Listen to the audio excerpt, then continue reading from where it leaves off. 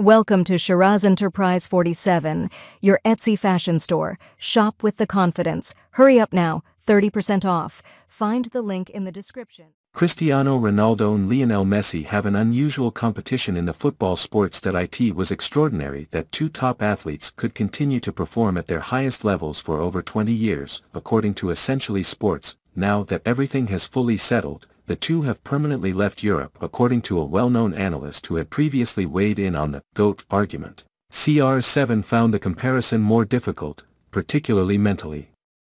What possible justification might he have? Let's investigate below. Jamie Carragher opened up on Cristiano Ronaldo's mental strength in a recent interview. He said, it must have been tough mentally, that Messi-Ronaldo thing. And I'd say more so for Ronaldo because I think probably 7 or 8 people out of 10 would say Messi was the better player. The Scouse defender added that the people's preference for Messi must have been a driving factor for the Portuguese star. He stated, no matter what he did, people still said that.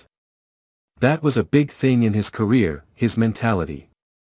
The legendary player from Liverpool is also among those who thought Messi was better than Cristiano Ronaldo.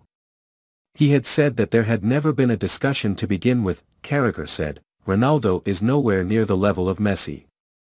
Instead, he labeled CR7 as the greatest goal scorer of all time while regarding Messi to be the best ever player.